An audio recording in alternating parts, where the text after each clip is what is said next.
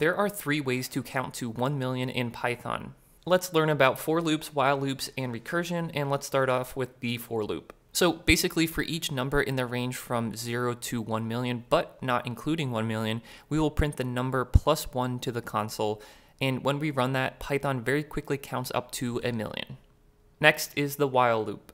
We'll start with the number variable equal to 1, and while the number variable is less than or equal to 1 million, we will print the number to the console, and after that, add 1 to the number.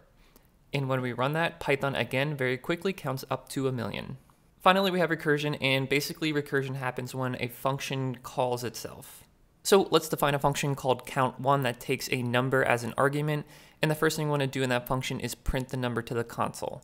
Now, if the number is less than 1 million, we will call the same count1 function again, but this time we will add 1 to the number.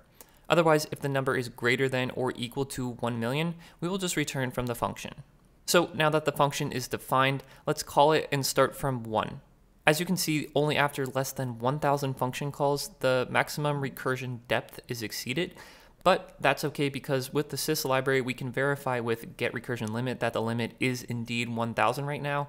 And we can change that limit with the set recursion limit function. And let's choose 1 million. So let's call our recursive function again from 1, and only after less than 29,000 function calls, we get a segmentation fault, and specifically a stack overflow.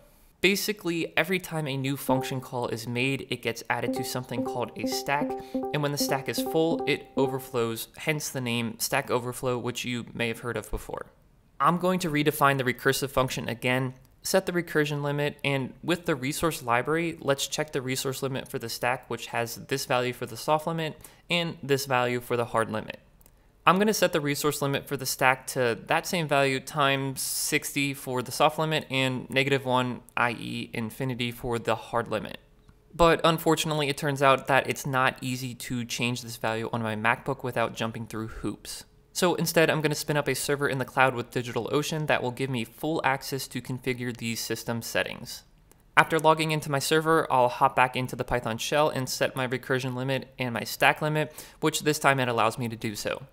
Great, so I'll redefine the recursive function, call it starting at 1, and we should be golden, but it fails just 5 numbers short of 1 million.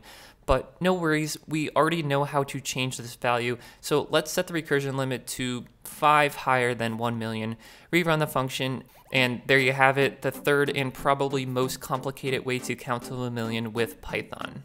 If you want more cool Python videos, check this out after you subscribe.